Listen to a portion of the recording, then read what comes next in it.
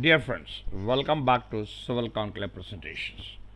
Today we are going to discuss about the interview questions generally asked in the planning managers and the project managers interview. See, being a CEO, I have attended various planning managers interviews and project manager interviews. In these interviews, nobody is going to ask you anything about concreting grade, slump ratio, etc. etc.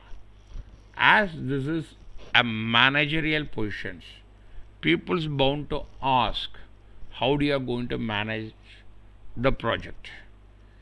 You know, and particularly in the corporate sector. I am not well aware of, of the small scale industries because in the small scale industries a project manager is a man who run the project.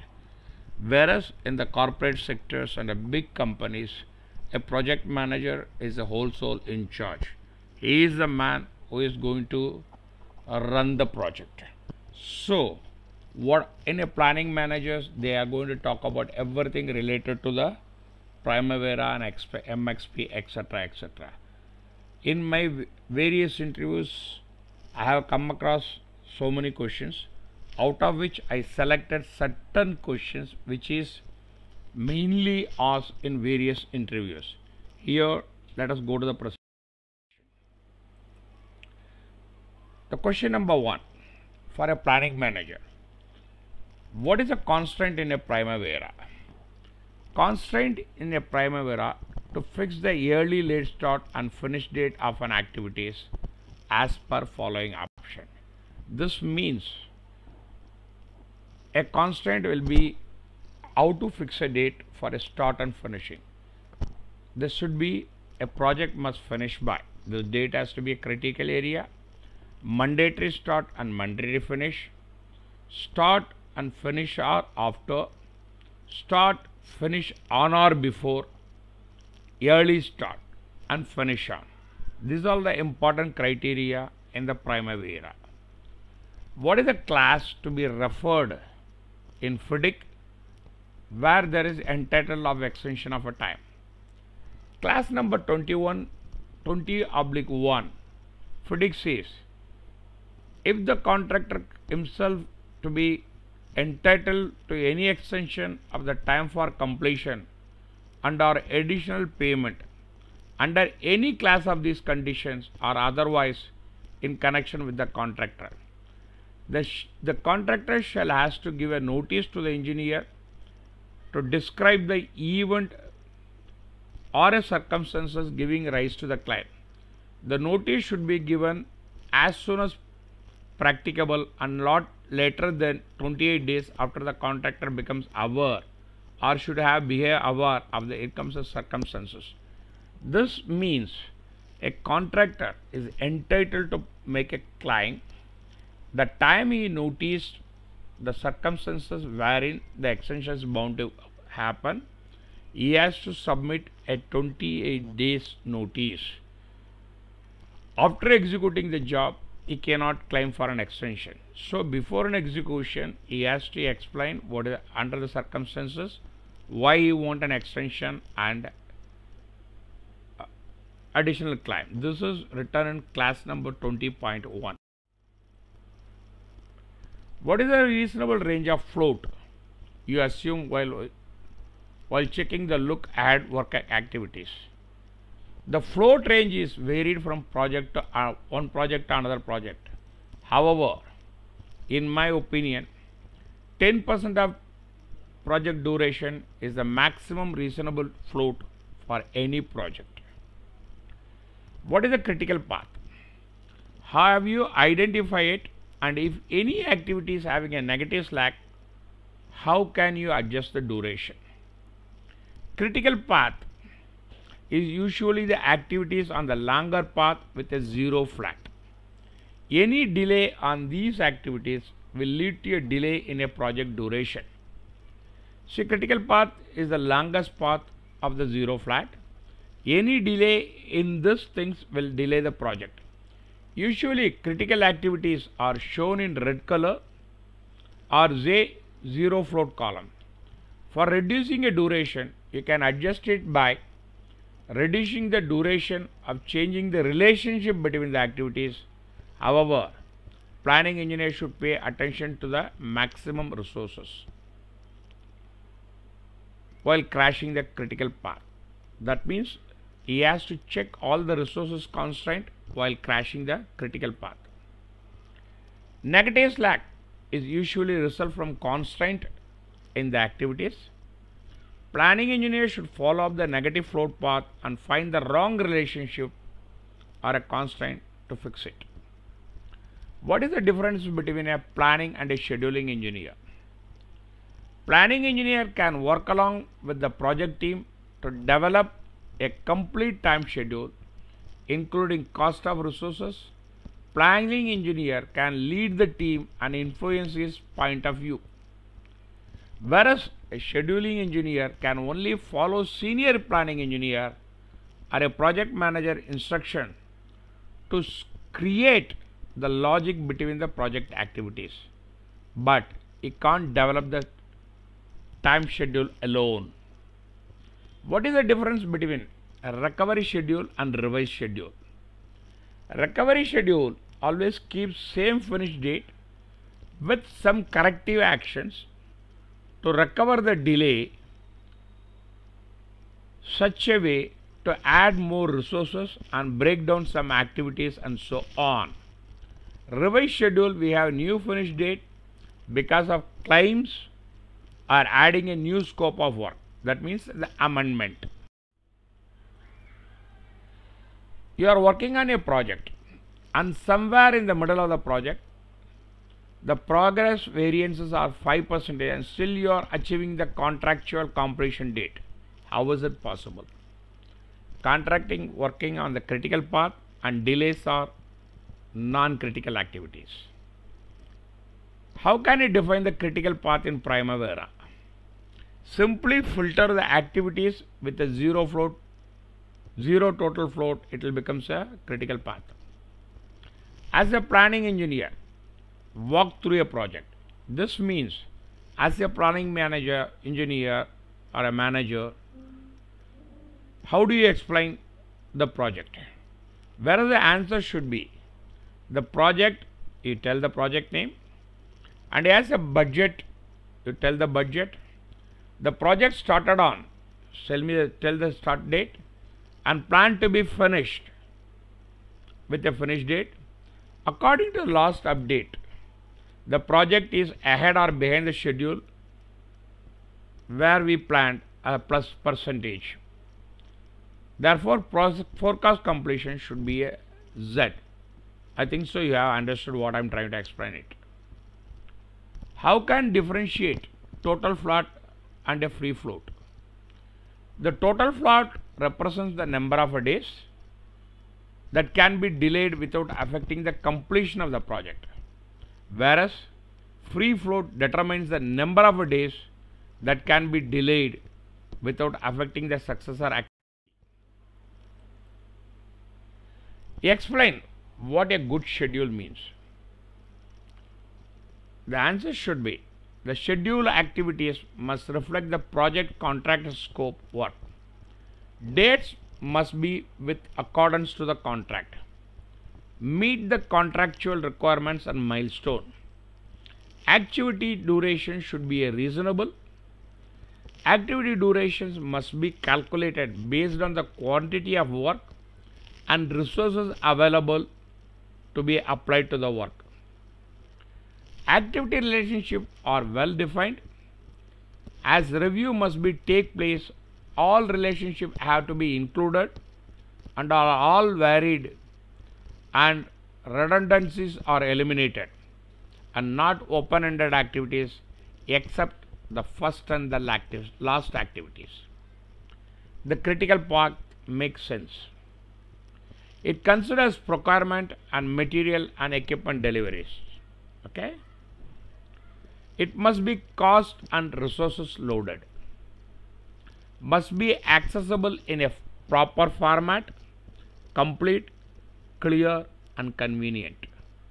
Specific must tell about what will be done, who will do, when they will do, and what cost it requires. How will you make a manpower loading for your schedule? Manpower loading is based on company's productivity rates. We calculate the required man hours for each BOQ items by using the formula. Required man hours is equal to quantity divided by productivity rate. What are the involvements of a project planner and vital role in project management? Planning engineer directly involved in a project management activities, project leadership to make decisions concerning the development of plans and how to work process broken down the control and how it is managed. Track, review, forecast and give inputs of the status of the project. Furthermore, planning engineer should raise the flag of the project team where he recognize the potential risk. What I mean to say, a planning manager has to raise a red alarm whenever the project is going to be delayed due to certain potential risk. What are the methods of calculating earned value? Updating actual cost of activities, updating the actual budgeted unit of activities, updating the actual resources comparing to the budgeting one. What is the difference between recovery plan and revised plan? Recovery plan is made with acceleration to remain within the contractual completion date, but revised plans accounts for a change order which may or may not be given within contractual dates. How to calculate budget man hours? In order to calculate budget man hour, you must have the budget quantity for each activity. From that, the standard man hour. Convert the quantity into man hours based on an organization product activities and rates. The total of these man hours will be the budgeted man hours. How do you start planning without any information in your hand? I would prefer to say the answer like this.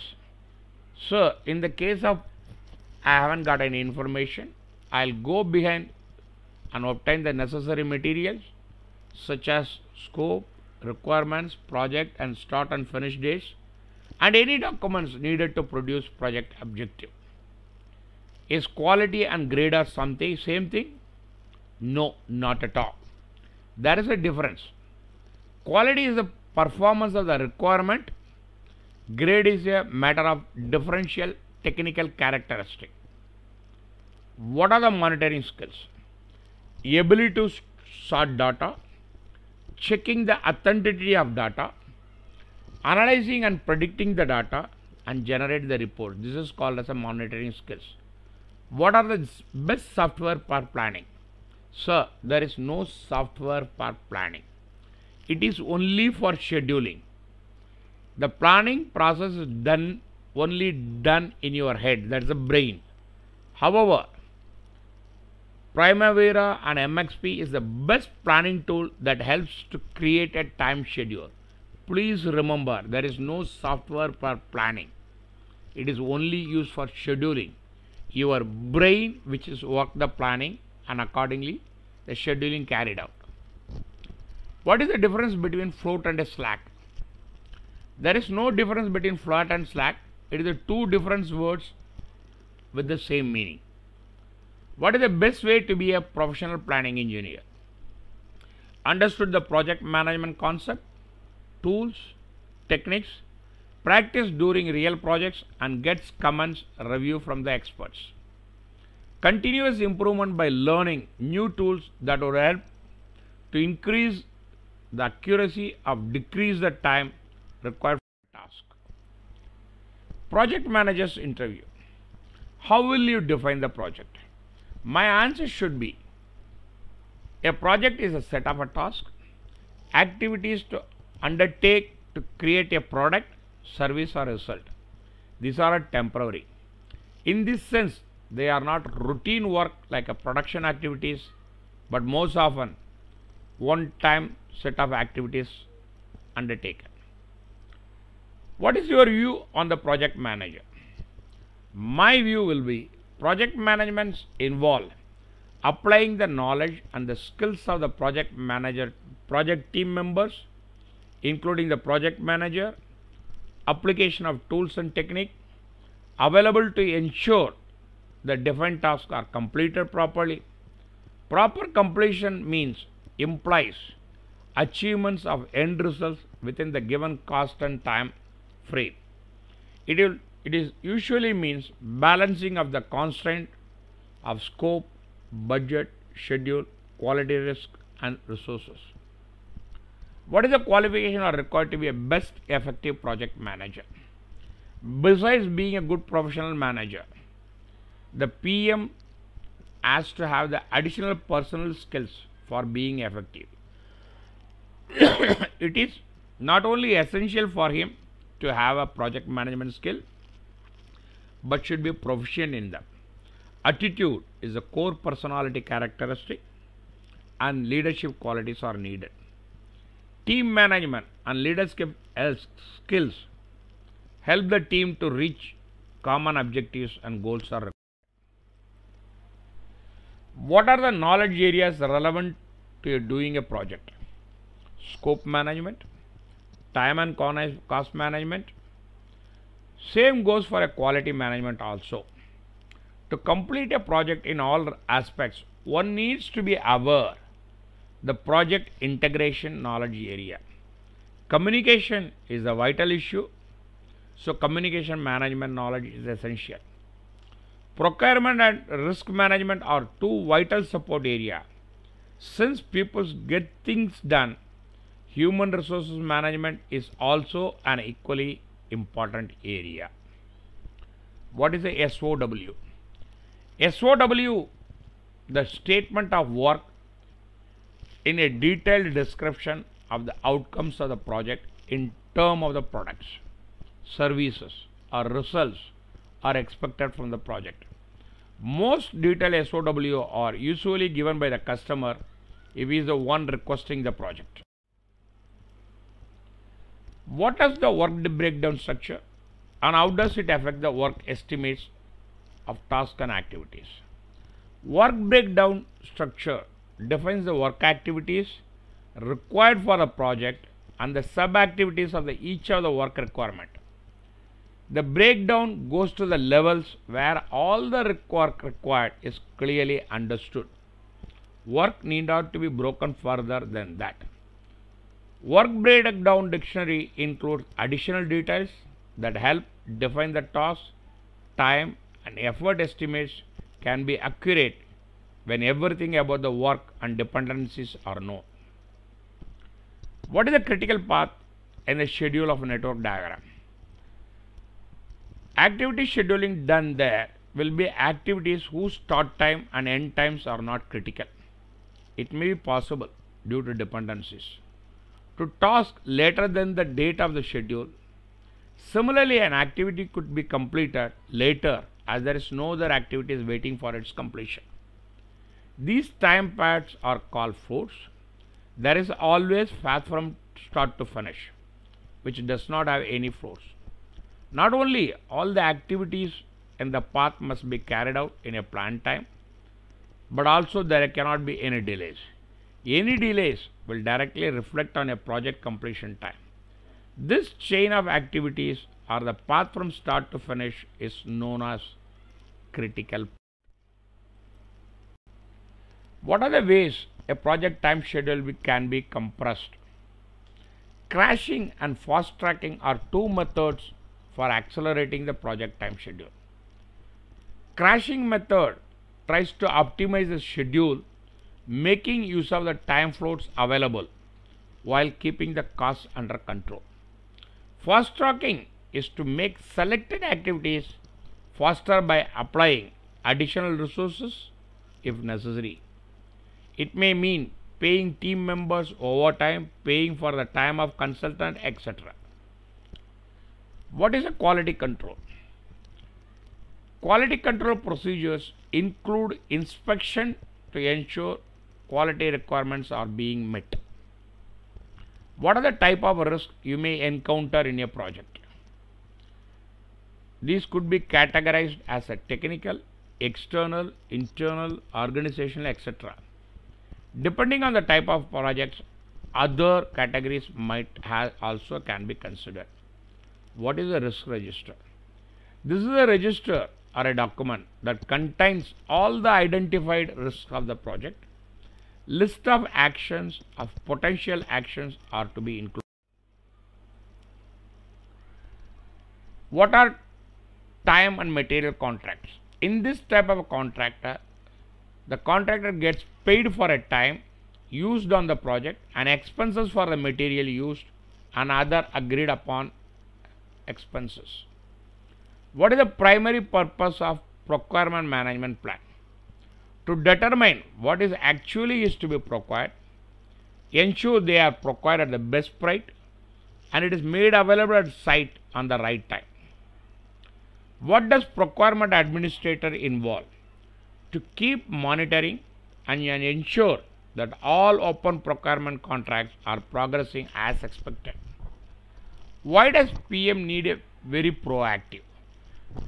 this is the most important questions I come across in various interviews. A PM needs to be able to see any signs of a deviation in time and cost of the project progresses at the earliest.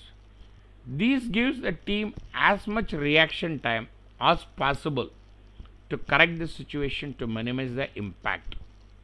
Do you think professionalism and integrity are essential qualities of the project manager?